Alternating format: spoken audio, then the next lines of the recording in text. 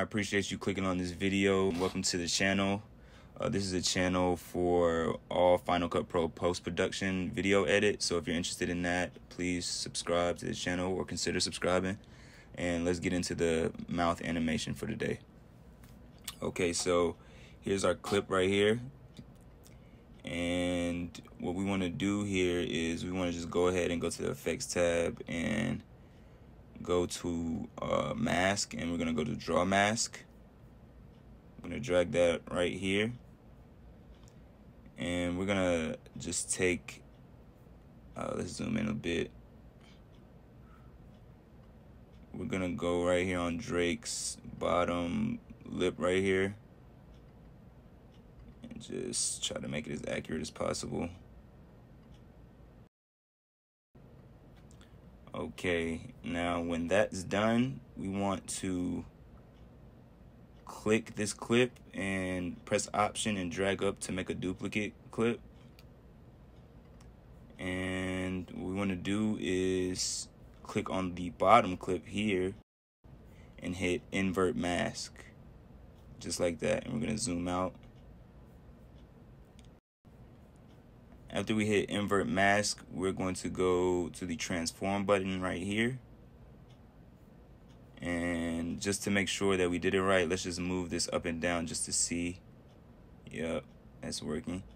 Okay, now that we can see that that's working, we can uh, reset this, undo transform change. Okay, now we are going to go to the transform position right here. And we are going to pretty much go frame by frame. So one, two, three, and we're gonna move down. And one, two, three, move up. One, two, three, move down three. You get the point now. But you're just going to do this continuously. As you already can see, this is going to be a really cool effect.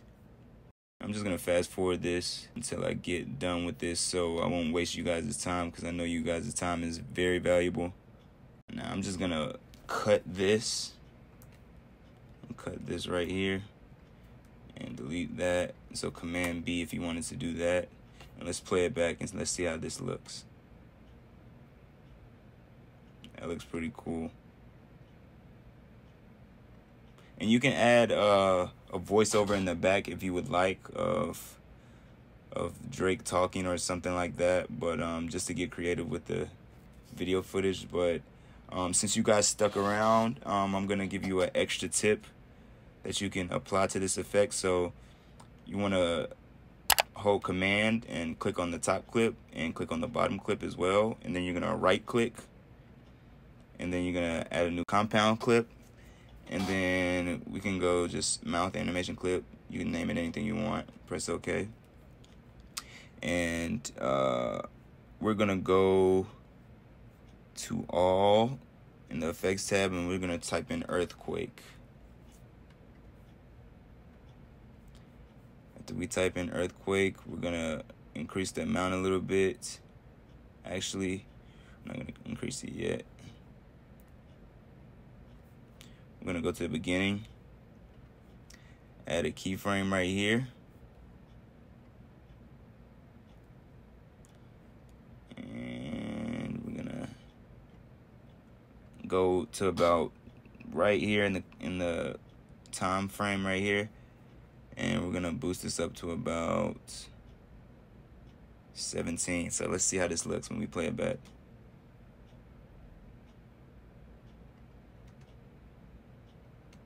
It looks a little rough but we can adjust it. Um, so when it gets really blurry up here we're gonna want to take it down. So go right here and just bring it down a little bit to about two. And now let's play it back. Looks pretty good.